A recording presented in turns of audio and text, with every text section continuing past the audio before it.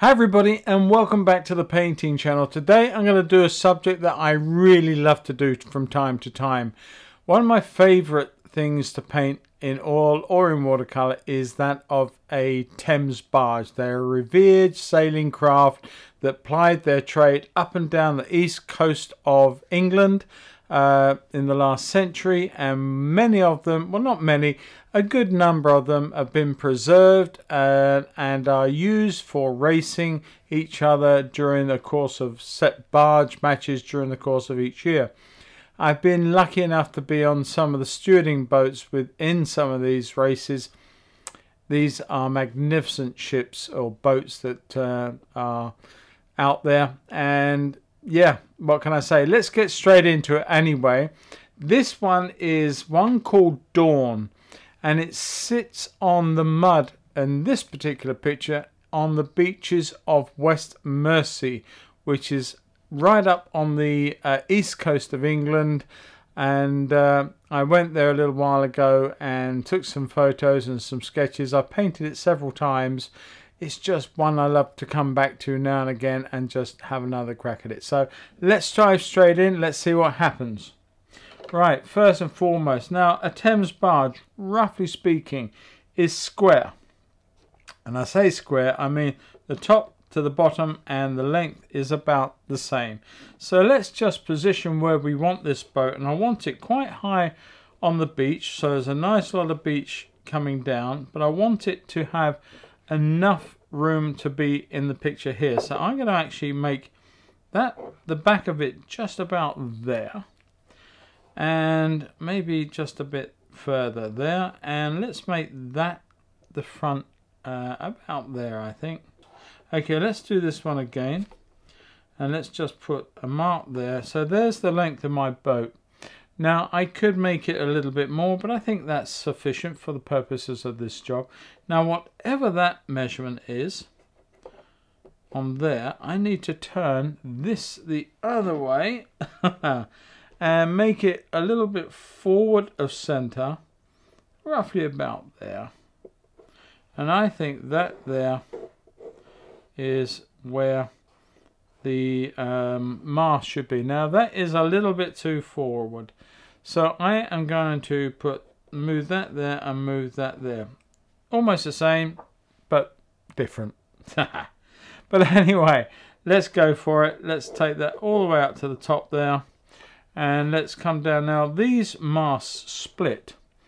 And if you're watching this and you know a darn sight more about Thames barges than I ever will, if I say something wrong, please put it in the comments and let me know because I love to learn more and I enjoy these painting these no end of times.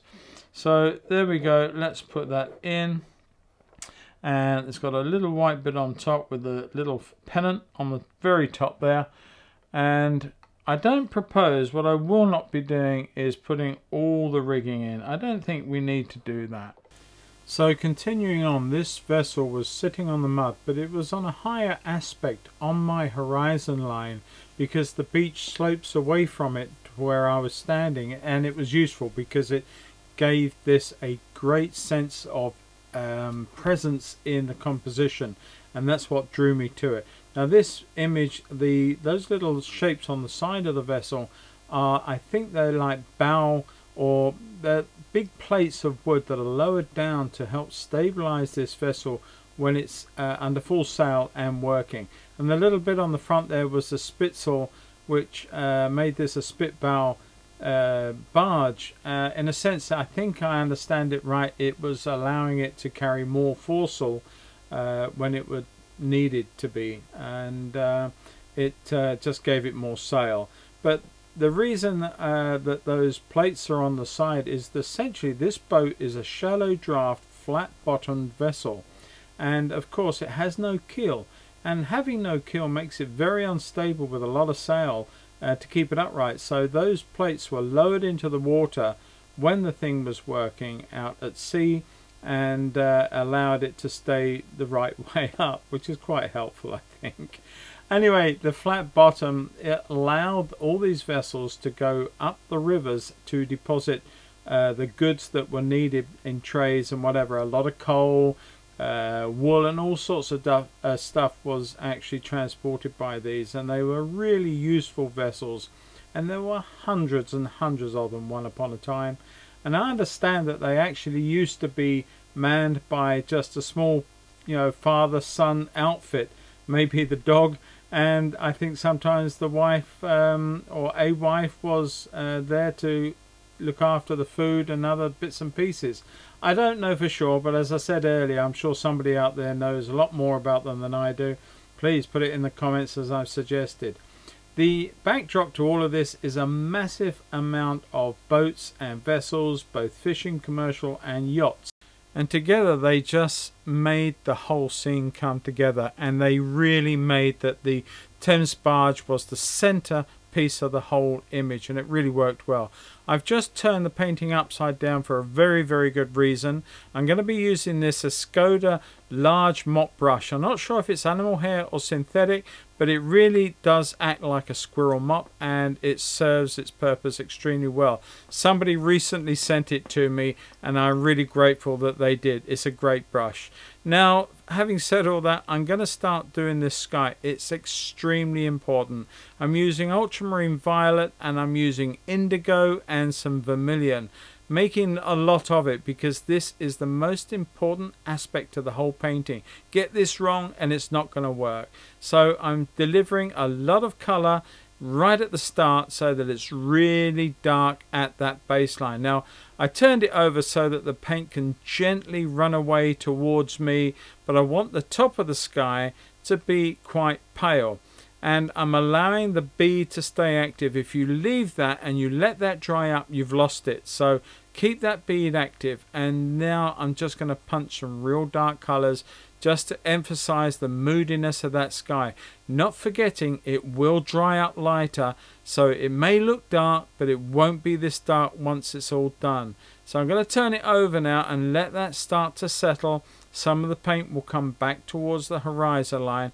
In the meantime, I'm just using this quite dirty brownish uh, sienna mix uh, with the mud and that on the foreground, the you know all the mud and that uh, on the sea. Now I stupidly touched that bit of sky. I think I'm going to get away with it, but it's annoying. I'm not putting too much color into this. I want to save that for later on. So this is going to dry up now and I'm going to let it dry thoroughly. And I actually not only let it dry naturally, but I use the hair dryer on it once I was sure the paint was not going to move. So don't use a hair dryer on it straight away or you'll wreck that lovely um, sky color. Wait until it is almost dry so it's not going to move and then use the hair dryer on it just to finish it off. And that way you know your painting is dry ready for the next layers. I'm using the beautiful terracotta colors of vermilion oranges and different colors to set, uh, set up these folded sails when these vessels are out sailing this is the most iconic thing to see. I call them my Spitfires of the sea. They are that iconic. They are beautifully shaped, wonderfully designed, and those sails are just to die for.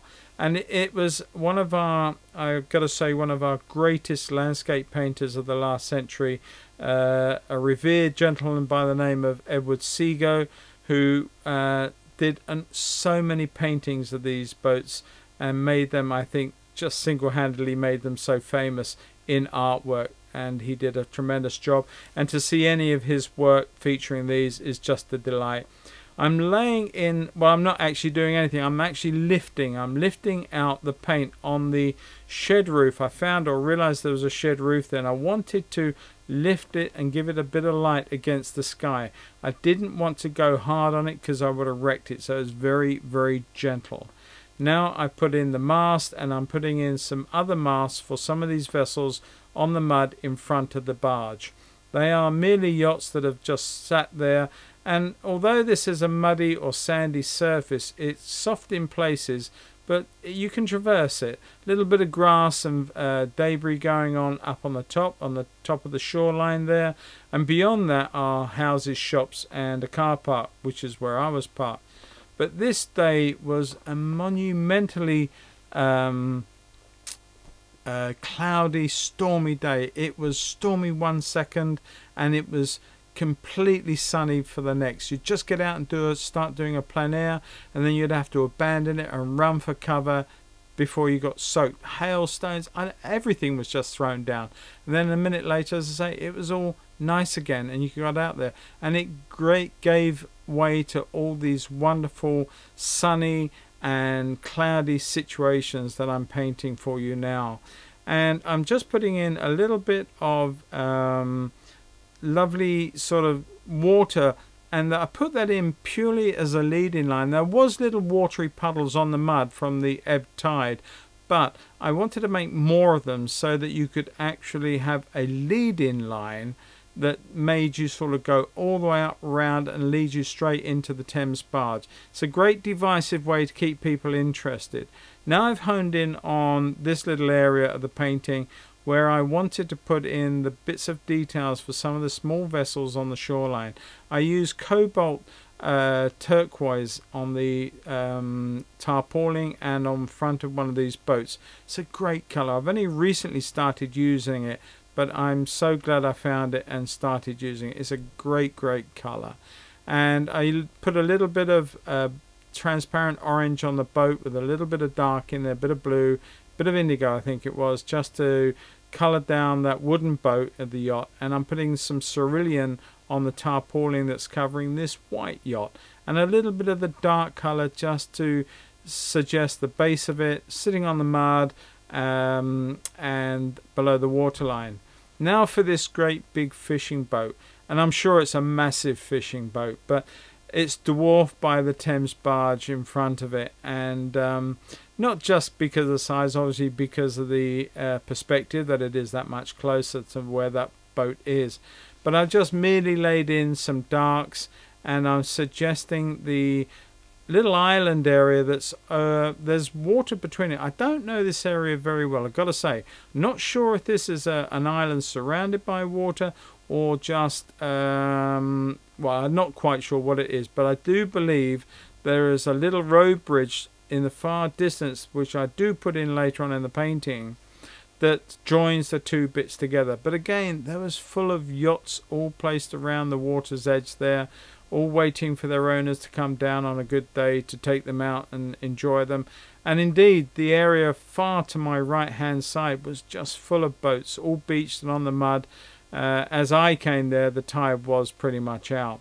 Now I'm suggesting a little bit more detail in the mud, and this is where I'm using, and I forgot to say this right at the beginning, I'm using very rough 300 pound uh, not 300 GSM, but Arches paper, 300 pound, very, very heavy weight, rough paper. And it allows this semi-dry brush to skip right the way across and just deposit color or pigment on the high bumps of the paper. And you get this beautiful broken effect in the mud or the sand. And it just it's just a great way of doing it. Uh, you can't do this so easily on NOT paper and almost impossible to do anything like it on hot pressed or smooth paper. So you do need to think about what you want to do and use the appropriate paper rough NOT or smooth depending on how you want your image to look but because it's a heavyweight paper it allows me so much more working time as it stays damp longer and allows me to do a lot more mixes. Putting those dark areas around the little water features, however, lifts those water features and makes them stand out a little bit more. Put a little bit of shadow underneath the two boats there on the mud just to give them uh, a degree of sitting on the mud and they're sort of joined to terra firma as it were and I'm just losing some of that white space that was left between the sky and the mud and just breaking that up with one or two bits of debris, flotsam, jetsam, whatever it might be. And I'm using now some pure uh, white gouache to lay in the poles and the parts of the vessel that really need to stand out. It would You could have masked them, but it would never be quite as good. So I chose to put on uh, the gouache and lay it straight in and do to define these areas as I needed to. I added a little bit of warmth in there as well, just a little bit of orange and yellow just to warm up the white a bit. Instead of it being a start white, suggesting some boats in the background, some masts that are sticking out, and also the side of the vessel. The, uh, I don't quite know what you call that part, but it's just a really nice part. The front sprit as well, and I will lay in some of the rigging, not much, but I want to keep going over. Now the thing about the white gouache against a dark surface, it does in a way start to dry up and lose itself. So some of it I have had to go back in and reinforce it moving forward. But it's not a big deal. You just got to be a little bit sure of your brush and the marks you're making that you cover over the same ground. Here you can see I've added more to the side of the boat but already that boat is starting to stand out magnificently against that sky. That's why that sky at the beginning was so, so important to get that value right so that when I did all this, those little bits of mast that I'm putting in all over the place now. There are tons of them, more than I could count. So I just kept tapping away with them until they came right. But uh, I just continued and just added little bits of detail. Now one can say that you can put too much gouache in. Yes, you can. Of course you can. But I think on this regard, it needed it. Everywhere I put it, it was needed to be just to suggest all the forms that were would otherwise be lost. And with the final bit and the closure of this painting, what painting of a seaside or uh, area like this wouldn't be complete without some seagulls in it and I did put quite a few in I've got to admit but I enjoyed them I enjoyed the look that they give they give some form of life to the painting but one thing I would always say is try and remember to put an odd number in. I don't know if that's because I did a lot of photography and it's something that I learned that odd numbers look better. And I'm sure one of you out there will count them up and say, hey, you didn't do it odd, you got them wrong. But anyway, I digress. I'm putting a few extra highlights into these poles just to reinforce them. And I'm also putting some shadows into the sails that are folded just to give them a little bit more presence and the one at the back as well. But with that, you know, I'm done. I really have enjoyed painting this for you this week. It's a subject matter that I love to return to time and time again. And I never get bored with it because they are such an iconic vessel. So with that in mind, sign your picture, have fun, have a go yourselves, and I'll catch you all soon. Bye-bye. So, I do hope that you've enjoyed this painting. I did try and set out to make this a quick one and they never do. I'm so sorry about that. I try so hard. Anyway, that's said and done. It is what it is. I'm going to now peel the tape off and reveal it as I do like to do. And I think this really sets a painting off when this is done. So let's just take this tape off. Covered in bits of tissue and what have you. Being very careful when you do this. The painting really should be dry before you do it. Or you can tear into the fibres and rip through. Oh, that's a shame. Hoping that would be a clean, crisp edge. Unfortunately, the paint bled. Can't be helped. It happens. It does mean to say that I can't mat this with a white border when I come to frame it. It's going to have to go right up to the painting one of those things. Sometimes, very often you get away with it. Sometimes you don't. But I do like to see this anyway. I do like to see this nice edge to it. You've got an idea of the painting.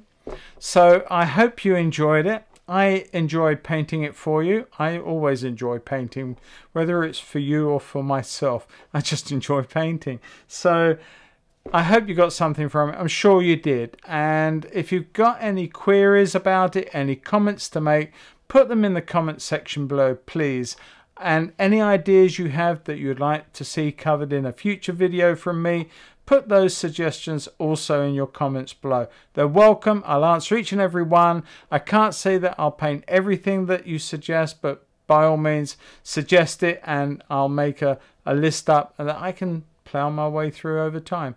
Thank you again to all my recent subscribers and thank you to all of those of you who are already subscribed to the channel.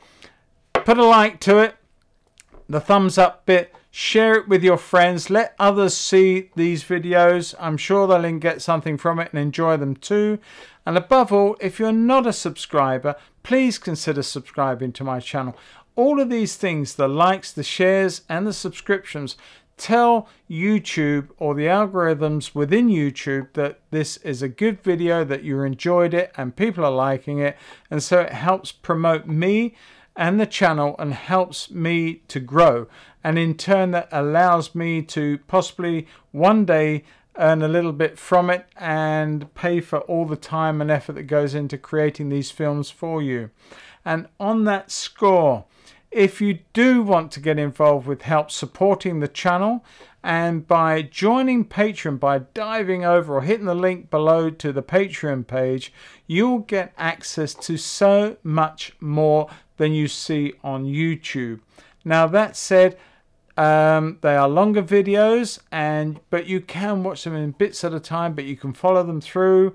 There are lots of things like reference material, tonal shots, line art. All these things go into it, but all of it takes time, takes effort, and costs money to produce. So patrons there are helping me to support the channel and helping that grow so that I can create so much more quality content for you in the future. Uh, and I am really dedicated to both my YouTube channel and my Patreon channel. I really am. I feel that it is the way forward. And as such, I really want to get involved with it and not just become a five minute wonder. So uh, it is worth you getting involved with Patreon and I'm adding to it each month, sometimes on a weekly basis. I won't guarantee that, but I am adding to it all the time. So yeah, get involved. There's also a community for my patrons on my Facebook page. Take a look at that as well because you can get involved with that and all my patrons interact with each other and have a lot of fun and I can help critique paintings and work. Not necessarily what I've done on the channel. Have a look. Anyway, I'm rambling on and uh, I enjoyed your company again and um, I'm going to catch each and every one of you next Friday, I hope. Tune in, see what I do next week. Catch you all for now. Bye bye, guys. Happy painting. See you all soon. Bye bye.